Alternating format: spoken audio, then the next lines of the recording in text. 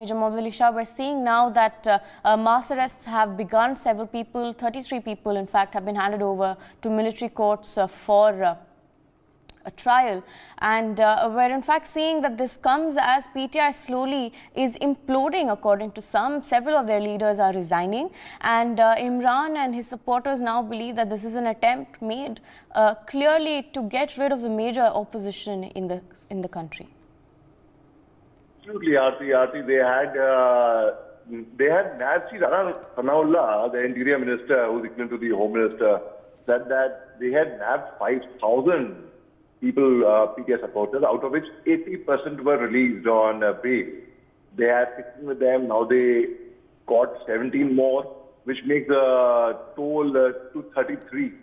So now these, see, in 1952, when the Pakistani Army Act came into place, that time, General Ayub Khan, who was the president of Pakistan in 1966, he, he amended the constitution a bit and he said, any civilian who would incite violence against the military, who would incite mutiny within the military, who would cause heavy casualty in the, within the military circle, can be tried as per the Army Act of Pakistan 1956. So they said, okay, now on 9th May, what happened? These civilians went on rampage. They, they destroyed army bases, army camps. They attacked the Corps Commander's house, GOC 44, General Salman. They attacked the radio station of Pakistan. So heavy casualty, heavy damage was done on uh, 9th of May.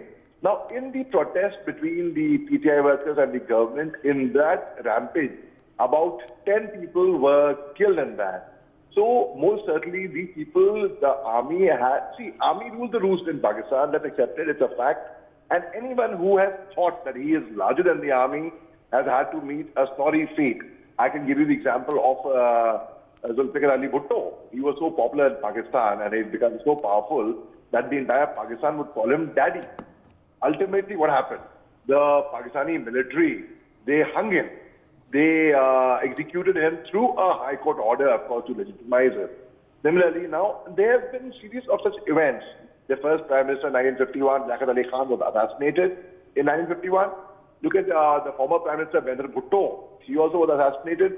General uh, Pervez Musharraf was uh, allegedly behind the attack. So there have been a series of these uh, uh, kind of assassinations mm. of the former Prime Minister. Now, when the uh, Pakistan government says we will try 33 of these uh, suspects from PTI in the hmm. military court, hmm.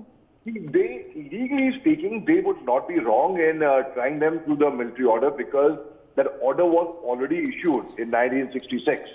So I, anything can happen in Pakistan, basically, just anything. It's so unpredictable. There were rumors of uh, the president and Arif Alvi, their chief justice, Justice Umar resigning and uh, being in troubled waters.